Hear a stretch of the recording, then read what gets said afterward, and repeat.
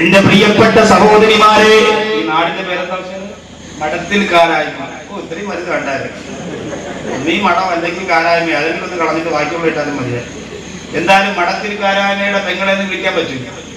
സാധാരണ പ്രസവിക്കാൻ പോകുമ്പോ പൂന്തുറയിലെ പെങ്ങളെ പൂവാറ പെങ്ങളെ വിഴിഞ്ഞത്തെ പെങ്ങളെ ഓച്ചറയിലെ പെങ്ങളെ ഇവിടെ മഠത്തിൽ കാരായ പെങ്ങളെ. അപ്പോ അപ്പൊ കടുക് മൂന്ന് ദിവസം കൊണ്ട് പറഞ്ഞിരുന്നില്ല പേര്. വിഷയം തീർന്നാലും നാട്ടിലെ പേര് പറഞ്ഞിരുന്നില്ല അപ്പൊ അതുകൊണ്ട് പെങ്ങളെ കുടുംബജീവിതത്തിന്റെ സന്തോഷമറിയണോ എന്റെ സഹോദരിമാരെ? കുടുംബ കോടതിയിൽ കയറാതിരിക്കാനുള്ള ഒരേ ഒരു മരുന്നെന്തെന്നറിയോ? ഭർത്താവിനോട് ഉടക്കാതിരിക്കാനുള്ള ഒരേ ഒരു മരുന്നെന്തെന്നറിയോ? ഭർത്താവിനോട് നിങ്ങൾ സലാം പറയുക ഭർത്താവ് നിങ്ങളോടും സലാം പറയുക. നാളിതുവരെ അങ്ങനെ ഒരു സലാം പറയൽ ദാമ്പത്യ ജീവിതത്തിൽ നിങ്ങൾക്ക് വന്നിട്ടുണ്ടോ? എന്റെ പ്രിയപ്പെട്ട മുസ്ലിങ്ങളെ അങ്ങോട്ടും ഇങ്ങോട്ടും ഒരു സലാം പറയുക. പിണങ്ങിയിരിക്കുന്നവരുന്നുണ്ടാവും ചിലപ്പോൾ. അടിയൊക്കെ കൊടുത്ത് കാണിച്ച കാര്യം വാത് കഴിഞ്ഞ് വട്ടെല്ലാം ദേഷ്യപ്പെട്ട് ഞാൻ വാതായോടൊന്നും ചെയ്യില്ല എന്ന് പറഞ്ഞ് വന്നിരുന്നു. ഇന്ന് വീട്ടിൽ ചെന്ന് പറഞ്ഞ അസ്സലാമു വലൈക്കും എന്ന് പറഞ്ഞു നോക്കി.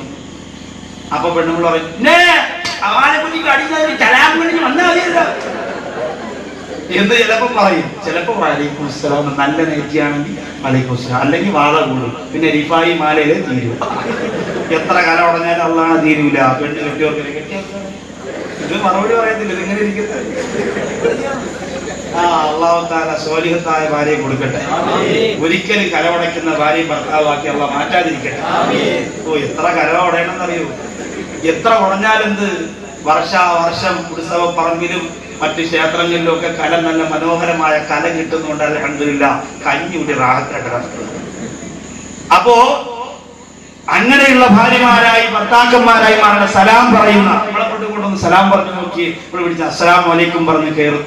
ഇന്ന് വാത് കഴിഞ്ഞ് പോയി നിങ്ങൾ വീട്ടിൽ ചെന്ന് ബെല്ലടിക്കുന്നു. ഭാര്യ വന്ന് വാത് വെക്കുമ്പോൾ അസ്സലാം വലൈക്കും എന്ന് പറഞ്ഞാൽ പറയും അതോ പാതിരാത്രി പള്ളിയിൽ നിന്ന് പിരിവിനാണ് വന്നത്. വന്നു അവിടെ മച്ചയില്ലല്ലോ എന്ന് പറയും. പിരിവിന് വന്നതല്ല ഞാൻ എന്റെ ഇക്കായ. ഗൾഫിൽ ഭർത്താവ് എന്ന് വിളിക്കുമ്പോ ഭാര്യമാര് ഫോൺ എടുത്തിട്ട് അസ്സലാമു അലൈക്കും. അപ്പൊ അയാൾ നമ്മൾ ഏത് വലിയാന്റെ വീട്ടിൽ നമ്പരാണ് അവിടെ? അപ്പോഴേ അയാൾ ഫോൺ കെട്ടിയിട്ട് നമ്പർ പരിശോധിച്ച് നോക്കിയത് അയാൾ ഷെയ്ഖിന്റെ വീട്ടിൽ നമ്പരാ സലാം ദുബായൊക്കെ കേൾക്കും. അപ്പൊ പറയണം എന്റെ പ്രിയപ്പെട്ട മച്ച ഷെയ്ഖൊന്നുമല്ല നിങ്ങളുടെ ഭാര്യ തന്നെയാണ്. വാതൊക്കെ കേൾക്കാൻ പോയി നന്നായി തുടങ്ങി സലാം പറയാനൊക്കെ ശീലിച്ചു. അമ്മാവ് നിങ്ങൾ അനുഗ്രഹിക്കട്ടെ മറ്റോ അമീ അമീ അങ്ങനെ ദീൻ വേണ്ടേ? സലാം വേണ്ടേ? അള്ളാന്റെ റസൂല പറഞ്ഞത്. ഏതെങ്കിലും വൈദ്യര് പറഞ്ഞതല്ല. ഡോക്ടർമാര് പറഞ്ഞാൽ ചെയ്യുമല്ലോ അല്ലേ ഡോക്ടർമാര് പറഞ്ഞാൽ ചെയ്യും വൈദ്യന്മാര് പറഞ്ഞാൽ ചെയ്യും ഒന്നിനും ശാസ്ത്രം പറഞ്ഞാലും ചെയ്യും. അള്ളാഹ് റസൂൽ പറഞ്ഞാൽ ചെയ്യില്ല അതാണ് നമ്മുടെ ഏറ്റവും വലിയ നഷ്ടം. ഇപ്പൊ നോമ്പ് വരല്ലേ റമലാ മാസത്തിന് മുമ്പ് ടി വിയിൽ പറയുന്നു നടൻ മമ്മൂട്ടി എന്റെ ഗ്ലാമറിന്റെ രഹസ്യം റമലാന്റെ നോമ്പാണ്. താത്ത പറയും ഫോൺ എടുത്ത് ഐഷ നീ അറിഞ്ഞാടി? കണ്ടില്ലേ? സൂര്യൻ സൂര്യൻ അറിഞ്ഞില്ലേ? മമ്മൂട്ടിന്റെ സൗന്ദര്യത്തിന്റെ രസം റമലാന്റെ നോമ്പാണ്. കഴിഞ്ഞ വർഷം പിടിച്ചില്ല ഈ വർഷം ഞാൻ അറുപത് നോമ്പ് പിടിക്കും മുപ്പത് ദിവസം. കാരണം എന്താ? മമ്മൂട്ടി അങ്ങനെ പറഞ്ഞോണ്ടാ. അള്ളാന്റെ റസൂൽ പറഞ്ഞത് നീ മറന്നില്ലേ പെങ്ങൾ?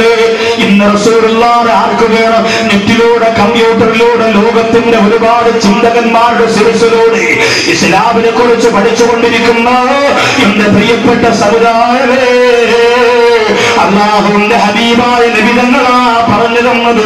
പരസ്പരം നിങ്ങൾ സലാം പറഞ്ഞാൽ ഓ സലാമിന്റെ സ്നേഹത്തിന്റെ ഊട്ടിയുറപ്പിക്കാൻ കഴിയുന്നതാണ്. അള്ളാഹു അത് നമുക്ക് തിരിച്ചു തരട്ടെ. സലാമിലൂടെ പരസ്പരം ഇഷ്ടപ്പെടാ. ആരെ കണ്ടാലും അസ്സലാമു അലൈക്കും എന്ന് പറയാ. അള്ളാഹുവെ ഞങ്ങൾക്ക് നീ തൗഫീഖ് തരണമേ അല്ലാ. അപ്പൊ അള്ളാഹുവിന്റെ ദീനിന് വേണ്ടി സ്നേഹിക്കാൻ തുടങ്ങുന്നവർ അള്ളാഹുവിന്റെ ദീനിന് വേണ്ടി സ്നേഹിക്കാൻ തുടങ്ങുന്നവര് അലഹമില്ല പരസ്പരം സലാം തുടങ്ങേണ്ടത് രാജ്യത്തിൽ നിന്ന് ഭർത്താവ് നാട്ടിലേക്ക് വിളിക്കുമ്പോ ഫോണിലൂടെ സംസാരിച്ചു തുടങ്ങുമ്പോ സലാം പറയണം. ബഹുമാനപ്പെട്ട അലീബ് നബി അബൂബക്കർ കാണുമ്പോ എന്ന് കണ്ടുമുട്ടിയാലും ആദ്യം സലാം പറയുന്നത് അലി അതുകൊണ്ട് റസൂലുള്ളാഹി അബൂബക്കർ സിദ്ദീഖ് പരാതിയുമായി ചെല്ലുകയാണ്. അള്ളാഹുന്റെ റസൂലേ എന്ന് കണ്ടാലും മദീനയുടെ മദീനയുടെ മണവാളന്റെ ഏറ്റവും ഇഷ്ടക്കാരനാണ് അലിയറിയാഹുന്നു എന്നോട് സലാം പറയാറുണ്ടായിരുന്നു നബിയേ. പക്ഷേ ഇപ്പൊ രണ്ടു ദിവസമായ എന്നോട് സലാം പറയുന്നില്ല. അതിന്റെ കാരണം എന്തെന്ന് അവിടെ വിരക്കണമെന്ന് ചോദിച്ചപ്പോ അള്ളാന്റെ റസൂൽ വിളിച്ചപ്പോ അലിയറിയാഹുന്ന് കൊടുത്ത മറുപടി കരിനാഗപ്പള്ളിയുടെ തടവയിൽ അന്ത്യവിശ്രമം കൊള്ളുന്ന ബഹുമാനപ്പെട്ട മുഹമ്മദ് കുഞ്ഞു മൗലവി അള്ളാഹു ആ മഹാന്റെ കബർ വിശാലമാക്കട്ടെ. എത്ര ചരിത്രങ്ങളാ എത്ര സംഭവങ്ങളാ. മനോഹരമായ ഈരടികളിലൂടെ ലോകത്തിന് സമർപ്പിച്ചത്. ആ ഉസ്താദ് പറയുന്നു അലിയറിയാഹു എന്ന് മുത്തുനബിയോട് പറഞ്ഞിട്ടുണ്ടെന്നറിയോ? ഈ രാത്രിയിൽ ഒരു മന്ദിരം കണ്ടിട്ടു ചോദ്യം ചെയ്തിതാണ് അതിനുത്തരം ആദ്യം സലാം പറയുന്നവർ കാണുന്ന അതുകൊണ്ട് സിദ്ധിക്കുന്നൊഴിഞ്ഞതു തന്നെ. കിടക്കുമ്പോ മനോഹരമായ ഒരു സ്വപ്നം ഞാൻ കണ്ടു. സ്വർഗത്തിന്റെ സുന്ദരമായ മാളിക അതാർക്കാണ് എന്ന് ഞാൻ അങ്ങോട്ട് ചോദിച്ചപ്പോ എന്നോട് പറഞ്ഞു ആദ്യം സലാം പറയുന്നവർക്കുള്ളതാണ്. ഈ സ്വർഗത്തിന്റെ കൊട്ടാരമുണ്ടല്ലോ. ഈ സ്വർഗത്തിന്റെ മാളികയുണ്ടല്ലോ. ആദ്യം സലാം പറയുന്നവർക്കാണെന്ന് പറഞ്ഞപ്പോ അള്ളാന്റെ റസൂലേ എന്റെ പ്രിയപ്പെട്ട അബൂബക്കറിനോട് സലാം പറയുന്നത് ഞാനാണല്ലോ. അതുകൊണ്ട് ഇന്ന് അബൂബക്കർ പറയട്ടെ. ആ സ്വർഗത്തിന്റെ ഭവനം എന്റെ അബൂബക്കറിന് കിട്ടട്ടെ. എന്നാഗ്രഹിച്ചു എന്ന് അലിയറിയാഹുന്ന് പറയുമ്പോ നമ്മുടെ നാട്ടിൽ നടക്കുന്നതെന്താ രണ്ട് ഹജ്ജ് ചെയ്തവനെ കണ്ടാൽ ഒരു ഹജ്ജ് ചെയ്തോ സലാം പറയണം. ഹജ്ജ് ചെയ്തവനെ കണ്ടാ ചെയ്യാത്തോ സലാം പറയണം. ഉമ്മയ്ക്ക് പോയി ഓനെ കണ്ടാ പോകാത്തോ സലാം പറയണം. പെണ്ണ് കെട്ടിയവനെ കണ്ടാ കെട്ടാത്തോ സലാം പറയണം. മക്കളിലോടെ കണ്ട ഇല്ലാത്തോ സലാം പറയണം? ഇങ്ങനെ ഓരോ നിയമം ഉണ്ടാക്കി വെച്ചിരിക്കുന്നവരെ ആരെ കണ്ടാൽ റസൂലുള്ള സമ്മാനിച്ച സ്നേഹത്തിന്റെ മന്ത്രമാണ് സലാം. നിങ്ങൾ കൊണ്ടുപോയി സമർപ്പിക്കണേ.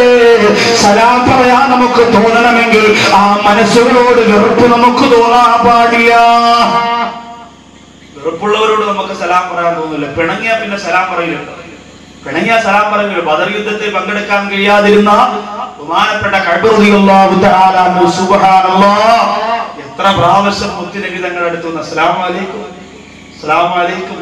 റസൂലുള്ളാഹി സ്വല്ലല്ലാഹു അലൈഹി വസല്ലമ തങ്ങൾ ഉപരോധം ഏർപ്പെടുത്തിയിരുന്നു. മിണ്ടാൻ പാടില്ല. അവർ പണിഷ്മെന്റ് ആയി. അല്ലാതെ അല്ലാതെ സാധാരണ സലാം പറയുമ്പോൾ റസൂലുള്ള അങ്ങനെ ഇരിക്കാറില്ല.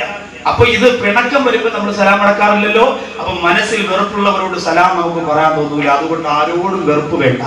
പൊന്നാന നിബിതങ്ങൾ അനശ്വതിയല്ലാഹുവിനോട് പറഞ്ഞിരുന്നറിയോ എന്റെ ഏറ്റവും നല്ല സുന്നത്ത് ഞാൻ നിനക്ക് പഠിപ്പിച്ചു തരട്ടെ. ഏറ്റവും നല്ല പ്രവാചക ചരി എന്തെന്നറിയോ? എന്റെ സഹോദരങ്ങൾ പഠിച്ചോ? ഏറ്റവും നല്ല പ്രവാചക ചര്യ എന്തെന്നറിയോ എന്ന് ചോദിച്ചപ്പോ അള്ളാഹുവിന്റെ റസൂലിനോട് അനുസരണ ചോദ്യത്തിന് പൊന്നാര നബിതങ്ങൾ മറുപടി പറയുന്ന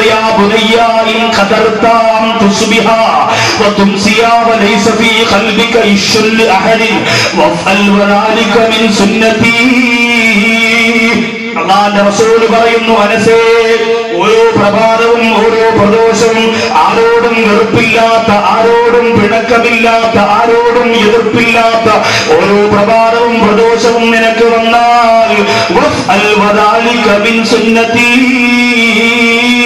അത് നല്ല ചര്യയാണ്. അതാണ് എന്റെ ചര്യ നീ തുടർന്നുകൊള്ളുക എന്ന് നബി മുഹമ്മദ് മുസ്തഫ ആരോടും വെറുപ്പില്ലാത്ത മനസ്സ് നമുക്കുണ്ടോ? എത്ര പേരോട് നമ്മൾ പിണങ്ങി കഴിയാൻ? പിണക്കം ഏതെങ്കിലും ഇസ്ലാമിന്റെ അടിസ്ഥാനപരമായ കാര്യത്തിലാണെങ്കിൽ അലഹമില്ല കള്ള് കുടിക്കില്ലെന്ന് അവന്റെ അടുത്ത് എത്ര തവണ പറഞ്ഞു സാറേ കൂടെ കൊണ്ടുവന്ന് വാത് കേൾപ്പിച്ചു എന്നിട്ടും വീണ്ടും വീണ്ടും അവൻ അതിനോട് താല്പര്യം കാണിക്കുന്നു. അതുകൊണ്ട് അവനോടൊന്ന് കമ്പനി നിർത്താൻ പോവാ. ഇനി ആ കമ്പനി കൂടിയാ ഞാനും കൂടിയാണ്. അങ്ങനെ നിർത്തുന്നവരുണ്ട്. ചില ഉസ്താദുമാരില്ലേ നല്ല തക്കവയോടുകൂടി ചില പള്ളിയിൽ വരും. വന്നുടനെ ചെറുപ്പക്കാരെ കയ്യിലെടുക്കും. അവസാനം ഉസ്താദാണോ ചെറുപ്പക്കാരാണോ ഏറ്റവും നല്ലതെന്ന് സംശയമാവും നാട്ടുകാർക്ക്. അത്രയ്ക്ക് കൂതറയായിട്ട് വീരാരി മാറും. വെറുതെ പറഞ്ഞതല്ല കാരണം അത്രത്തോളം ശക്തിയിൽ ഈ ചെറുപ്പക്കാര് ഉസ്താദിനെ സ്വാധീനിക്കുകയാണ്. അതുകൊണ്ട് ഇവിടെ ധാരാളം ചെറുപ്പക്കാരുണ്ട്. ഉസ്താദിനോട് ഞാൻ ഇപ്പോഴും പറയാം നിയന്ത്രിച്ചില്ലെങ്കിൽ അപകടം. എന്ന് പറഞ്ഞ് എന്റെ പ്രിയപ്പെട്ട കൂട്ടുകാരെ കുറ്റപ്പെടുത്തിയതുണ്ട് ഇന്ന് ഉസ്താദന്മാരെന്ന് ഇവരൊക്കെ പാവപ്പെട്ടവരാണ്. എനിക്കും അങ്ങനെ എന്റെ പ്രിയപ്പെട്ട കൂട്ടുകാരോട് സോർത്തതയോ അല്ലെങ്കിൽ അവരെ അങ്ങനെ വെറുപ്പിക്കൽ അങ്ങനെയൊന്നുമില്ല. പിന്നെ ചില ഉസ്താദുമാരുടെ കമ്പനി അടിക്കുമ്പോൾ ഉസ്താദിന് എവിടെന്നെങ്കിലും ചോറുണ്ട് വയ്ക്കും അതിന്റെ പൊരിച്ചമ്മ അടിച്ച് മാറ്റിക്കൊണ്ട് പോകുന്നു ഉസ്താദ് ബസ് പിന്നെ വീട്ടിൽ പോകാൻ ബസ് സാധിക്കുമ്പോൾ? റോഡിലൊക്കെ ഇങ്ങനെ ആക്കുമ്പോ അതൊരു ഉസ്താദിനും ബന്ധങ്ങൾക്കും ചേർന്നതല്ല അപ്പൊ ഉസ്താദിന് ഉസ്താദായിട്ട് കാണുന്ന കൂട്ടുകാരായിരിക്കണം മഹലിലെ ഇമാമികളോട് ഏറ്റവും അധികം അടുത്തിടപഴകേണ്ടത്. ഉസ്താദുമായിട്ട് ഒരുപാട് എടുക്കുമ്പോൾ ചിലപ്പോൾ ഉസ്താദിന്റെ പവറൊക്കെ നമുക്ക് നഷ്ടപ്പെട്ടു പോയി. കൂട്ടുകാരനെ പോലെ അല്ലേ കുഴപ്പമില്ല എന്തു ആവാം. ഒരു സിഗരറ്റ് എന്റെ എടുത്തില്ല. അങ്ങനെ സിഗരറ്റ് വാങ്ങുന്നു. അങ്ങനെ പിറ്റേ ദിവസം വന്നിട്ട് നീപ്പെട്ടി വാങ്ങുന്നു. പിന്നെ ഉസ്താദ് കിടന്നുറങ്ങുമ്പോൾ ഉപ്പ് കെട്ടി വാക്കി അതിട്ട് കൊടുക്കുന്നു. ഇങ്ങനെ പല വേലകളും ചെയ്യും ഉസ്താദ് ഉസ്താദ് അല്ലാതാകും. അത് നമ്മൾ വരുത്തരുത്. അതുകൊണ്ട് ശ്രദ്ധിച്ചാൽ അലഹമില്ല എന്നും നമുക്ക് മുന്നോട്ട് അള്ളാഹ് തോഫിക്ക് എത്ര വർഷം രണ്ടു വർഷമായി. സാധുവാ. അള്ളാഹു അദ്ദേഹം ദറസിൽ പഠിക്കുന്ന സമയത്ത് ഇവിടെ വന്ന് ബഹുമാനപ്പെട്ട ഉദ്ഘാടനം ചെയ്ത ഉസ്താദില്ലേ? എല്ലാവർക്കും ഉദ്ഘാടനമൊക്കെ പ്രസംഗമല്ലേ? അത്ര മോശമായിരുന്നു. ആരും ശ്രദ്ധിച്ചൊന്നും കാണില്ല.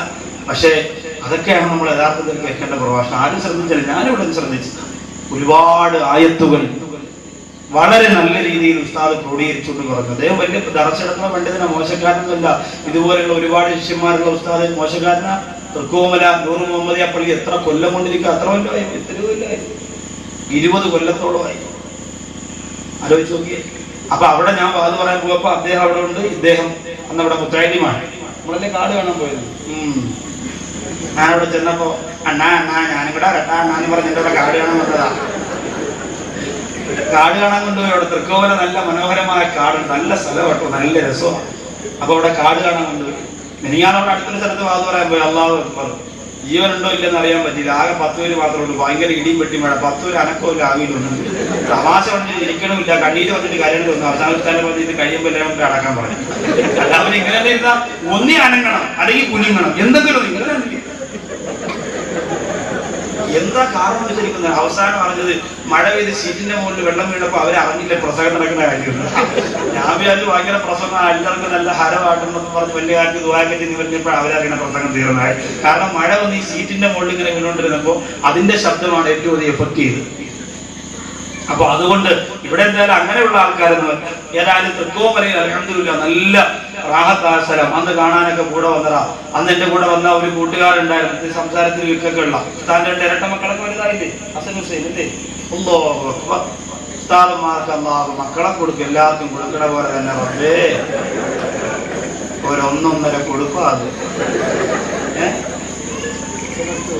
ഹുസൈൻ എന്ന ഉസ്താദിന്റെ മകൻ മരണപ്പെട്ടു അള്ളാഹു ഖബർ വിശാലായി കൊടുക്കട്ടെ. അപ്പൊ അത് ഞാൻ അറിഞ്ഞില്ല. അപ്പൊ ഈ രണ്ട് മക്കളോട് ഉസ്താദിന്റെ അനുവാദം ചോദിച്ച് മുത്താലിമയുടെ കൂടെ എന്റെ കൂടെ കാട് കാണാൻ. അപ്പൊ എന്റെ മുമ്പേ വന്നൊരു പാവപ്പെട്ടു അവർ തമാശക്ക് പറഞ്ഞു ഇങ്ങനെ വലിയ വലിയ നമ്മൾ പോവാണ്. നമ്മളിങ്ങനെ പാട്ടൊക്കെ പാടി തമാശക്ക് പറഞ്ഞു പ്രസംഗത്തിന് അവിടെ നിൽക്കുകയാണ് പകര സമയം നിൽക്കരുത് അപ്പൊ തമാശക്ക് അവൻ പറഞ്ഞു ലക്ഷം ലക്ഷം പിന്നാലെ എന്ന് പറഞ്ഞു. ഉസ്താദിന്റെ രണ്ട് മക്കൾ ഏറ്റവും പുറകിൽ വരും. അവർ അമ്മരുടെ കൂടെ പറയാം ഇത്രേ ഉള്ളൂ. ലക്ഷണം കെട്ടോ മുന്നാലെ അതോടുകൂടി മുദ്രാവാക്യം വിളിച്ചോ പിന്നെ അനക്കമില്ല അറിയില്ല അപ്പൊ ഇത് അങ്ങനെ അള്ളാഹുത്താൽ ആ പ്രിയ ആ സഹോദരന്റെ ഖബറുള്ള വിശാലമാക്കി കൊടുക്കുമാറാകട്ടെ. ഒരുപാട് ചെറുപ്പക്കാർ എന്റെ പ്രിയപ്പെട്ട ഇന്ന് ഇങ്ങോട്ട് വരുമ്പോ ആറ്റിങ്ങൽ ഭാഗത്ത് ഒരു അൾട്ടോ വാഹനം ലോറിയുമായിട്ട് ഇടിച്ച് അതിന്റെ പകുതിയോളം കഴിഞ്ഞു തവിട് പൊടി. ആ സെക്കൻഡിൽ തന്നെ പറഞ്ഞു കൈയും കാലും ഒക്കെ ചെന്ന ഭിന്നമായി. ഇന്നലെ നടന്നതാ. നിങ്ങോട്ട് വന്നപ്പോ ആ വാഹനം ഒന്ന് കാണാൻ വേണ്ടി അവിടെ ഇറങ്ങിയതാ. സുബഹാനുള്ള ഇതൊരവസ്ഥയിൽ അള്ളാഹ് നമ്മുടെ ഒരുപാട് ചെറുപ്പക്കാര് ഇപ്പൊ കുറച്ചു ദിവസം മുമ്പ് അടുത്ത എവിടെ വാന്ന് പറയാൻ വന്നപ്പോ കായംകുളത്ത് എഞ്ചിനീയറിംഗിന് പഠിച്ചുകൊണ്ടിരുന്ന വിദ്യാർത്ഥിയായ അമീർ എന്ന് പറയുന്ന സഹോദരൻ മരണപ്പെട്ടു എന്ന് ദുവാ ചെയ്യാൻ പറഞ്ഞു. ഞാൻ മറന്നിട്ടില്ല അതൊന്നും ഞാൻ മറക്കൂല പ്രിയപ്പെട്ടവരെ. അവർക്കൊക്കെ വേണ്ടി ഇന്നലെയും ദുവാ ചെയ്തു. അത് അവിടെ കവറുകളെ വിശാലമാക്കി കൊടുക്കുമാറാകട്ടെ.